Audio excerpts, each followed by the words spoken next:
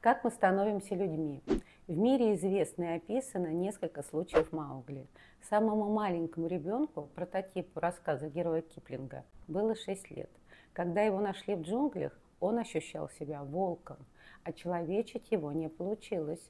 Он ел еду только из миски, сырое мясо, предварительно обнюхивая его, бегал на четвереньках, рвал на себя одежду. Говорить и понимать по-человечески он не научился – волчонка люди вообще не интересовали. Из человеческого он научился только курить, причем в больших количествах. Наши домашние питомцы, кошки и собачки, живя с нами, не становятся людьми. А человек может стать человеком, только живя среди людей. У человека врожденные инстинкты менее развиты, чем у животных. Наше развитие зависит от среды, в которой мы живем.